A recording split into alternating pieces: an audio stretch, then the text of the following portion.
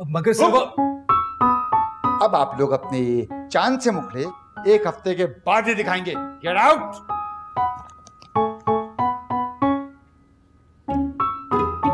Sir मैं आपको समझाता हूँ। मैं बताऊँ आपको?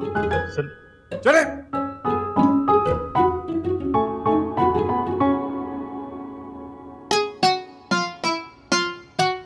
It's all because of her. It's all because of you. For God's sake, अब कोई नया मैस मत क्रिएट कर देना। गौहर लेके चलो उन मुसीबतों को यहाँ से। इन मुसीबतों ने हमें ख्वाम खा फंसा दिए यार। ये सब इस मैडम बाबरी की वजह से हुआ है।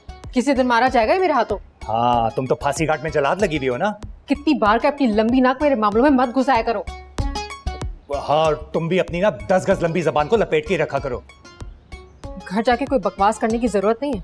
वैसे अब अब्बा मियाँ की तबीयत ठीक नहीं है। ये बकवास बाजी का डिपार्टमेंट मेरा नहीं तुम्हारा है। खुदा का वास्ता है यार। और जाओ घर जाओ अपने अपने और एक हफ़्ता ना नींदे पूरी करो जाकर।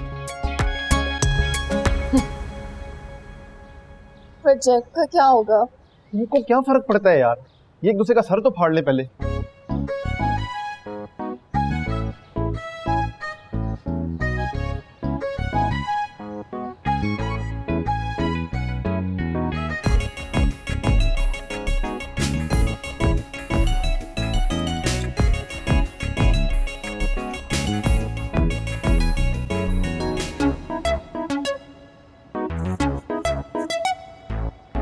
ये टायर की हवा किसने निकाली?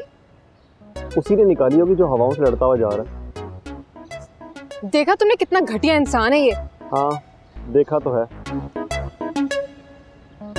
यार अब तुम रोना ना स्टार्ट कर देना यार। करता हूँ मैं कुछ रुको। रोती है मेरी जूती। अरे क्या उसको पकड़ के लेके आओगे अब? लेके आओ किसी को।